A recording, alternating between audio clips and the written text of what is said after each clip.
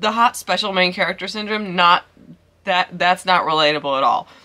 The being an idiot part, I just feel like I'm drawing from like my personal input.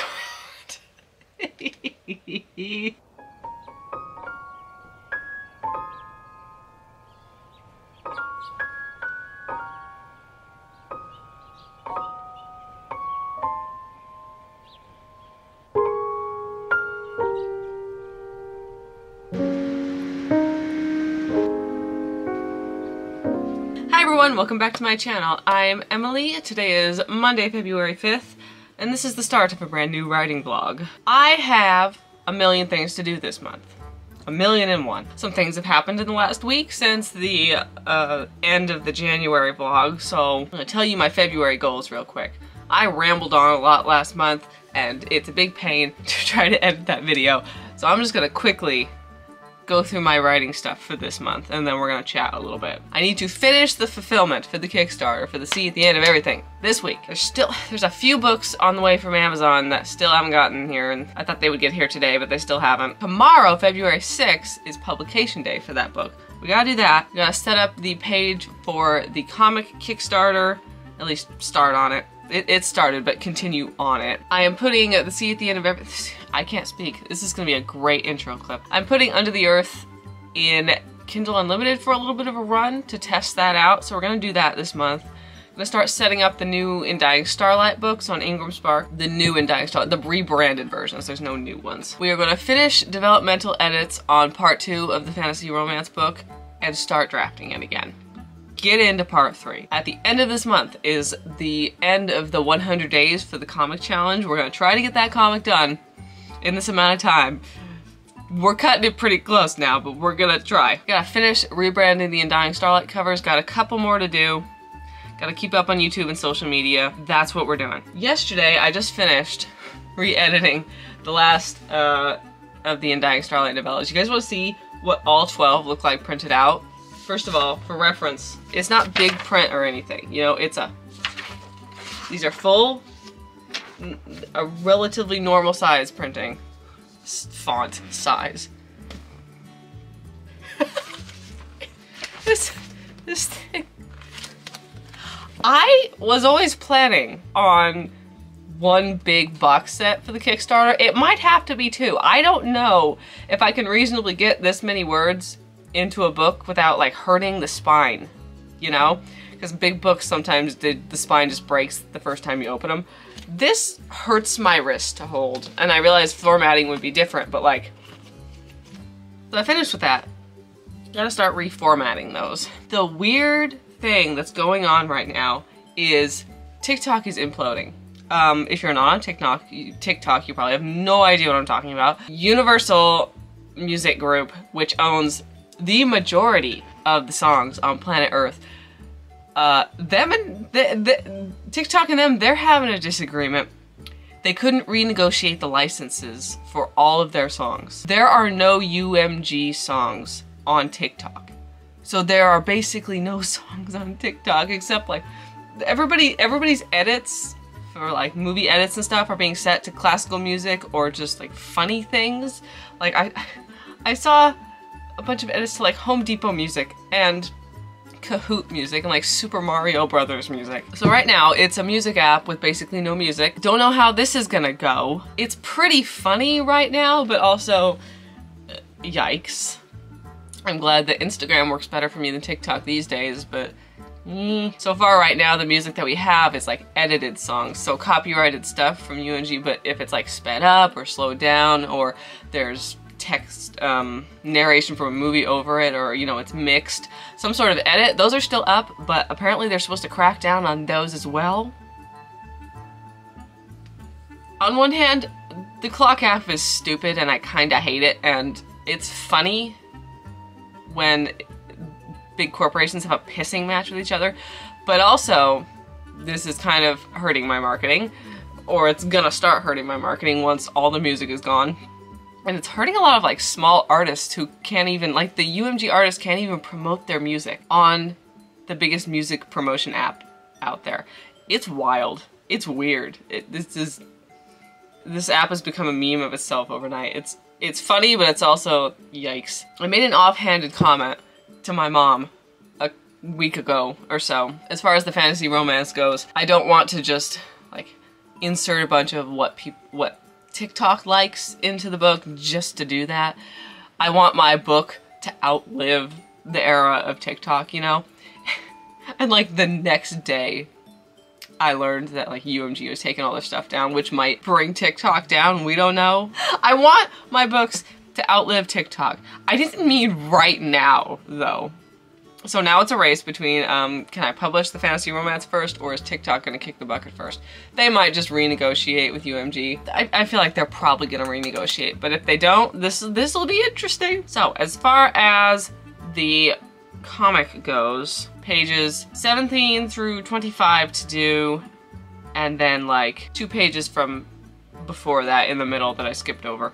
Oh, there we go. I have six spreads left to do and then one single page left to do. And of course the cover. As far as the fantasy romance goes, I'm on chapter 17 out of 23. This is part of the way through part two. I'm getting there. It's not, it's not as bad as I thought it was. Like as I was editing at a line level and inserting world building stuff, I have some things to insert, but actually a couple paragraphs like here and there each chapter are doing the majority of the heavy lifting. It's not nearly as bad as I thought it was. I keep overreacting and thinking, oh my god, there's massive changes needed, and I really just need to like sprinkle some stuff in to round it out. Gonna be fine. Do I know where I'm going with part three? Not really. I do, but I don't know how I'm gonna organize it or how I'm gonna get it there, but we don't care. It's gonna be fine. I've given myself a deadline until the end of March to uh, finish the draft of this. If I don't, at that point, I can panic about my timeline and my schedule. But until then, I want to finish up the editing this week, then we get started, and that's like six more weeks to do another 40,000 words or so. Not a problem. It's gonna be fine. I didn't do any sort of video for the Sea at the End of Everything uh, publication day thing, so it's just gonna be the January vlog as long as I can get it edited. You guys will know by now. I, I feel like I was not prepared for this launch very well, but it, it's it's fine. It it is what it is, as they say. But we're gonna do the best we can, which means I'm gonna get off the camera and do social media. Fantastic. Hi, I totally forgot. I was gonna do an update today because it's Tuesday, February 6th, so it's publication day for my book that's somewhere over there. It's publication day for the sea at the End of Everything. I have got some stuff I'm doing today publication day wise. I finished editing the January vlog yesterday and I was uploading it and it's still uploading. It's been uploading for like six hours at this point. but it's at 92%, so hopefully I can still get this up at a reasonable amount of time for you guys. So I would like to at least put up a video on publication day, my goodness. But I've got to do a Kickstarter update, email all my ARC readers, and remind them that they can post their review on Amazon. I'm doing social media, wait, ah, the phone turned off. Did you post? Probably gotta do some other stuff. I don't even know. I didn't make a list. I was not prepared for this publication day, and you know, I'm not terribly upset about it because it's a novella. The Kickstarter did so well. I'm just kind of, I'm just like mentally at this point, you know? I'm doing my best. We're gonna do some publication day stuff, but mostly uh, I think today's gonna be chill. I'm gonna make some pizza. I'm getting there on my comic, man. I'm just, just getting it. I need the thing as done as I can get it so that I can do the Kickstarter and I can put on finishing touches in like the whole month of the Kickstarter. You know, it's this is the type of thing where once you're done with it, there's there's really nothing else to do. You know, once you're done with the art and you put the text in, it's not like a huge process, you know, compared to writing a book and publishing a book and getting it edited and formatted and reformatted and there's typos and there's it's just there's so little very little dialogue and once the artwork's solid it's solid. You can send it to the printer or get a proof and send it to the printer. But I'm quite proud of the way it's going. I think it's gonna be really pretty. I think you guys are gonna like it a lot. There's a tractor going outside and it's loud so I will catch you guys tomorrow or in a couple days whenever happy publication day Okay, it's the next day. It's Wednesday, February 7th. Welcome back to part 82,000 of Emily Edits Her Fantasy Romance book before it's even finished. I got a new mug. Look at it. It's, it's, it's enormous. It's like half the size of my face. Today I am, what's on the to-do list for today? Today I've got to package some of the final books for the Kickstarter. Work on the fantasy romance a little bit. I want to edit one chapter today And then I'm gonna spend the entire rest of the day on apparently not having a brain cell. The comic. Yeah, it's, it's, we're a week into February. There's only three weeks left, which obviously. Got three weeks to finish a lot of stuff. It's not the end of the world if I don't finish the comic at the end of February. I just want to try. Release day went fine yesterday. Uh, nothing really to report. I did like the basic types of things that I needed. I got my video uploaded finally. I did my social media, did a Kickstarter update, and I got all my ARC readers messaged, but really it wasn't anything spectacular. I am just... I feel like when you do a Kickstarter first, by the time you actually get around to publication day, you're just so burnt out on marketing and the publishing aspect that you're just like, whatever. Happy publication day. I don't know, maybe with the fantasy romance I won't be like that because it'll be like another really big sale day because it's a fantasy romance. I don't know. But I did pretty decently. I did better than I ever expected for a novella on this book. And so now it falls into the same category as Under the Earth, which is you just continue to market it and see how it goes. That's really all I have to say. It's Friday, February 9th. I did work on the comic on Wednesday. I did not yesterday because yesterday the final uh, copies of All the Woods came in that I needed to fulfill the Kickstarter. And so I spent the entirety of the afternoon packaging up some of the really, really big orders. I didn't do all that much yesterday. Although I did in the morning finish editing part two of the fantasy romance so I can start drafting it at some point now. Immediately, but now I'm just like, oh my gosh, I haven't drafted this in over two months. I have all the packages for the Kickstarter done. This, I'm gonna run errands later today and I will be dropping off the final mountain of packages. I have a splinter, I can't get it out. I'm dropping off the final mountain of packages today. Almost 500 people. we have fulfilled. Ah. Oh my gosh, I might use a fulfillment company if my Kickstarters get any bigger because oh my goodness. I'm working on setting up the page for the comic Kickstarter so that I can just get it approved so I can have the pre-order page up. Hopefully by the time this vlog goes up, I will have the little pre-order page able to be saved and if I do the link will be in the description. But I plopped some of the pictures in, it's just cute. And I got most of the body text in there, I just need some like little stuff at the top and an image for the main banner image. And I can get it approved and then I can actually continue making it look professional. Gotta get back into the fantasy romance. I'm just, I haven't drafted it in a couple of months and I don't entirely know where I'm going with part three. I know what needs to happen, but I don't know how to get there. But that's mostly what I do when I write anyway. So I'm sure it'll be perfectly fine. And man, do I need to do In Dying Starlight stuff. Now that I don't have to spend a lot of time packaging books, maybe I can actually get back to being ahead on this comic.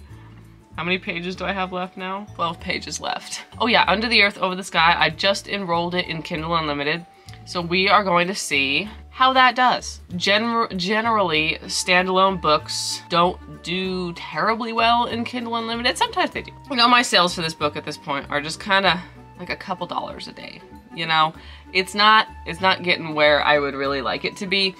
And I do know of books that like they're the first book in a series, but it's one of those series where the first book comes out and the next one doesn't come out for years. And that first book just does really well for a long, long periods of time in Kindle Unlimited. And then the fact that this is fairy, fairy genre, I don't know, fairy fiction, even though it's not romance, the fact that it is in the fairy genre might really help me. And the Kindle Unlimited thing, you can enroll for three months and then you can just ask to be taken out. So if it just completely flops, I will have not lost on a bunch of money and I'll see how this goes. I have a feeling I can totally get this to work, which means I should get off the computer and do some social media mentioning it's in Kindle Unlimited and maybe I might get some people coming over there who haven't read it before. So we're gonna try that. I feel like I haven't said anything um, unhinged in this vlog yet, uh, so that's what this clip is gonna be. It's Monday, February 12th. I don't remember where I left you, so I'm just gonna quickly say it. I finished the developmental edits on part two of the fantasy romance. I need to get back into the drafting. I haven't in the past couple days just because I'm uh, avoiding it because I haven't done it in a couple of months, so I'm just, I need to just do the thing. I'm still behind on the comic, but we're getting there. I would probably have to do about like one page a day to do the 100 uh, day comic challenge successfully. There's a possibility. We'll see. I don't know. I did get the Kickstarter page up. Um, not up, the like the pre-order page where you can click save. It'll be linked in the description. It approved instantly in like five seconds. Like I clicked submit for approval, the little ball spun twice and it said approved. And apparently that happens sometimes and also because I'm in good standing with Kickstarter because I run multiple campaigns completely fulfilled. I need to do an update today and say I'm completely fulfilled but apparently I kind of maybe get an automated process now instead of somebody like reading through the whole thing. I don't know. Whatever it was, it was nice. It approved instantly, which is a great improvement over like the Under the Earth one that took like 10 days when it was supposed to take three or something. The unhinged thing I was gonna say, maybe it's not unhinged. I think it's funny. So we know about like self-insert characters. It's used as an insult because it kind of is. My camera's just wobbling. Because usually it's in reference to like, oh, I'm not like other girls. Like the character is just so ridiculously perfect that it seems like the author is just inserting themselves into the main characters. So we know what self-insert characters are. And generally, because of that, they're considered bad because they're you're inserting yourself into the main character, you're not making them their own person. And usually they're really obnoxious. My friend and I had had a discussion about this because she's like alpha reading the rough draft of the fantasy romance. And I had said that Neve, the main character, she isn't self-insert, but it's totally fine because she's just a dumbass.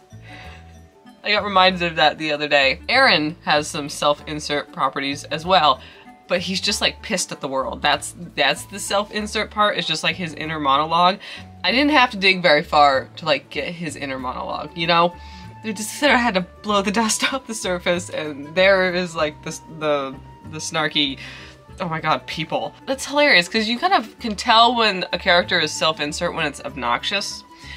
But then when it's just something random, it's harder to tell because you have no idea. And I would just like to know that about other authors. Leigh Bardugo, when she was writing Six of Crows, which character is a self-insert, but in just like a totally off-the-wall sort of way. You know, Aaron's self-insert just because he's a, a pissy little grump, and Neve is a self-insert because I look at her sometimes and I look at her decisions and I'm like, I would be precisely that stupid in that situation. It's not exactly flattering. yeah, there's gotta be like a little bit of special character main, special main character syndrome because she's the main character, and you have to have that within a fantasy romance where some hot fairy wants to be romantically involved with a human. It's just like a bare minimum, you kind of have to have it. So like, the hot special main character syndrome, not that that's not relatable at all. The being an idiot part, I just feel like I'm drawing from like my personal input. and I just, I want to know that about other authors because it's hard to tell when it's random. I just want to know. I heard something, I don't know if this is true at all because I think I heard it on like a Tumblr screenshot on Pinterest, you know? I think in Lord of the Rings, Tolkien had said he like related the most to like Faramir and Faramir's just kind of like a doofus. That's great. I want to know more about that. I want like less princessy self-insert characters and I want to know the just off-the-wall ones. You know? If you have any of those, I want to know. I'm going to tell you what my weekly goals are, and I'm figuring maybe this week we'll be like, we'll finish. I don't know how long this vlog is so far, and I don't know when I'm finishing it off. So I'm just going to tell you the goals I have for the week, and we'll see if this vlog lasts through the week. We are going to reformat in Dying Starlight 1 and get that set up on Ingram Spark. So help me, I need to do that. We're going to work on four pages of the comic. We are going to work on the Kickstarter page. We're going to look into BackerKit because BackerKit has like a Kickstarter pre-launch thing. We're going to start drafting the fantasy romance again. I need to get back on social media. Um, I need to set up a Facebook ad for Under the Earth because I have an Amazon one going right now. We're going to see, it's in Kindle Unlimited now. We're going to see like which works better, the Amazon ads or the Facebook ads. So I got to do that. I Got to script some YouTube videos because I don't have any ideas left because I was just in January, as we know. Gotta film and edit a video, gotta do some more exercise. I've been exercising just at home with YouTube videos. And so that's what we're doing this week. So next thing I need to do is social media right now. I say that a lot and then I just go, I don't wanna do it. so I swear, social media. It's Wednesday, February 14th. I think I'm going to wrap the vlog up here because we are nicely halfway into the month and also I don't know how long this is getting. I don't think I told you, but I am finished with fulfillment for the sea at the end of everything. I ran this Kickstarter in like August and September. Oh my goodness. It, it's so weird not doing all the packaging and trips to the post office anymore, you know? After all this. we finally got all that fulfilled, and it's only like a couple days after publication date. I did finally, finally, finally start drafting the fantasy romance again. I did 600 words yesterday on a new chapter, not editing, actual new words. I don't know if they're any good, but it's fine. We'll just pretend they're good. Which means we are back slightly in the groove of getting this book finished within a timely fashion. Although I will say that for the rest of this month, I'm probably not going to be doing big word days or attempting any of that, mostly because I'm still uh, feeling like, how do I draft books again? But also, if I'm going to be spending hours a day on creative projects, it needs to be the comic right now. So I'm just going to try to chip away a little bit at the fantasy romance, but like mainly get the comic done. And so hopefully in March we can zoom back into actually writing. Other than that, the random thing I'm doing right now is trying to figure out if running a BookBub ad for Under the Earth is a good idea. Let us wrap this up here. I still have a lot of my weekly goals to do, but we can get that in the next vlog. Thank you all so much for watching. I hope you enjoyed this video. If you did, giving a thumbs up and a subscribe really helps out my channel. You can, of course, grab Under the Earth Over the Sky now in Kindle Unlimited as well as The Sea at the End of Everything. It just came out. I, just, I still love these shiny deluxe edition. I hope you all are having a lovely February, and I hope I get this vlog out within a couple of days so that saying you have a lovely February actually applies. I didn't tell you anything about the comic, did I? I have 10 pages left. We'll talk about it in the next vlog. 10 pages left. I'll see you guys in the next video. Bye!